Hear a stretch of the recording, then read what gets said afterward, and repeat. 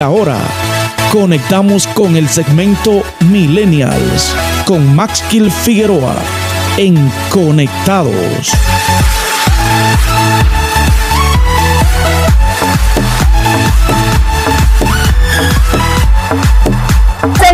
Aquí en su programa Conectados y llegamos al momento de Millennials, Matskill, el movimiento, el, el calor, la explosión que solamente da este segmento, señores. Pero usted no sabe por qué. Es porque Matskill tiene una suerte, como usted no se imagina. Ah, ¿era tú que tienes la suerte? ¿Quién? Ana, mira, yo no quisiera tener esa suerte. ¿Vivir al filo de la muerte? No, definitivamente no. Señores, así es, ya estamos aquí en Millennials. Recuerden que estamos a través de todas las redes sociales. Ana y Nueva TV, Max Figueroa F. Recuerden nuestro portal digital www.conectadosnews.com. Estamos right now en vivo para Buena FM. Definitivamente, Ana.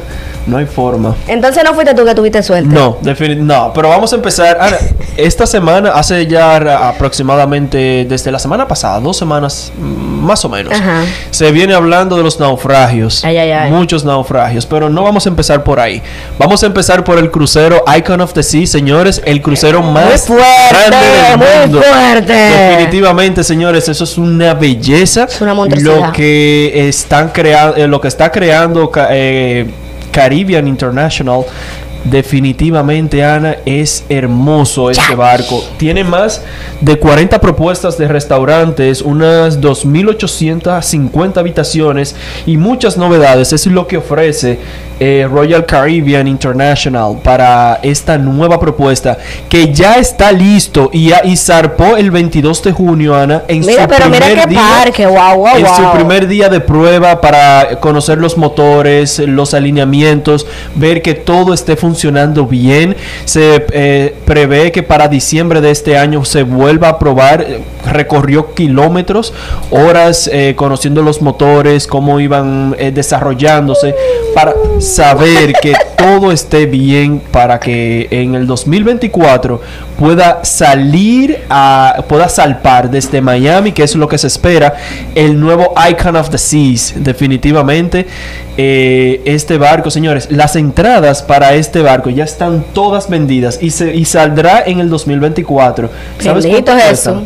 Solamente siete días que durará en todo el Caribe dando ¿Cuánto cuesta? Una, un paseíto, unos 4.400 dólares por persona.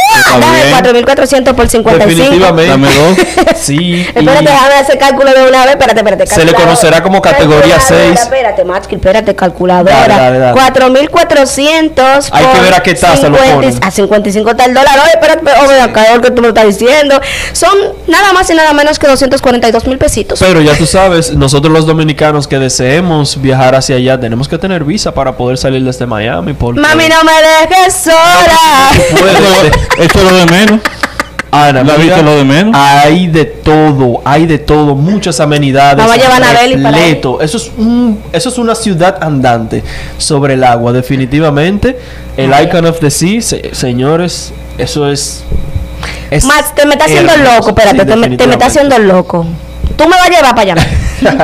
Anótate para. debemos, de, debemos, de anotarnos para la segunda ronda. Para cuando ellos vuelvan a lanzar nuevos tickets que pongan a la venta. Ana, mira esos pasillos. Eso, no, no. Eso es una cosa. yo creo que el artista que tenemos hoy aquí en el estudio que va a chapear ese pedazo. bueno, yo creo que sí. Creo que sí. Ella tiene que conseguirlo. Ay, eh, ella tiene talento. Ah, Tiene, tiene, tiene talento. Tiene talento. ¿Qué es lo que definitivamente. ¿Qué es lo que tú estás pensando? Te conocemos, chamo. te conocemos. de talento. El chamo. El chamo, señores, que miren. Que ella la pueden contratar para que vaya a cantar para allá. El chamo la dejando acá. Y nosotros vamos a ir de asesores. ¿Verdad que sí? Claro que sí, definitivamente. Señores, cambiando de tema, pero cerca de ahí. Eh hablábamos al inicio del Titán que se hundió hace, una sema hace ah, unas semanas ya. Eh, vamos a recordar el Titanic, señores. ¿Qué de novedoso tiene el Titanic cuando se hundió? ¿Qué de novedoso tiene el Olympus cuando se hundió también?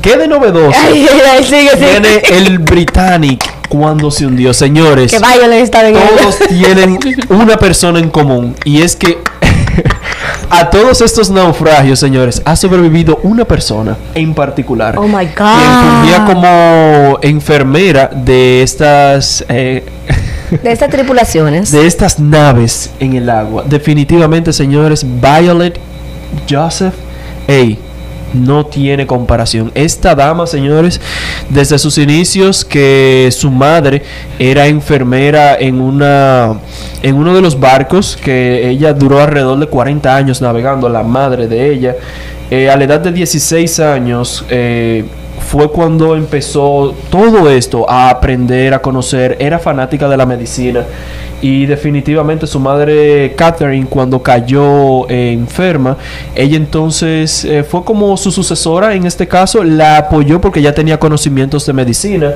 hasta que la madre falleció. Entonces ella inició sus trabajos de enfermera en, iniciando en el Titanic. Cuando se hundió el Titanic, ella fue una de las primeras que tomó uno de, las, de los botes que se desprendieron para que las personas no mueran ahogadas. Muchas personas murieron, pero muchas personas también sobrevivieron.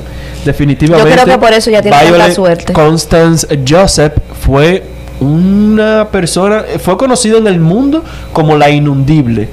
Definitivamente esta mujer sobrevivió alrededor de tres inundaciones, tres naufragios y que logre contar la historia es impresionante. Oh my God. Definitivamente es impresionante. Ella sabía, tenía conocimiento de cómo sobrevivir y creo que lo hizo historia. Oh, lo hizo historia, señores. Señores, hay que, hay que escuchar y ver cosas. Sí, hay que escuchar y ver cosas. Cuando no está para ti, no está para ti. Ah, para que tú veas que lo que Dios. Eso es bíblico. Lo que Dios escribe, señores, eso no lo borra nadie. Ya lo sabe. Nadie. esa, esa tinta indeleble, mire, se queda ahí para el resto de la vida. Definitivamente. Hasta aquí, Millennials. Recuerden que estamos en vivo a través de todas nuestras plataformas digitales. Vamos a una pausa y regresamos en breve, familia.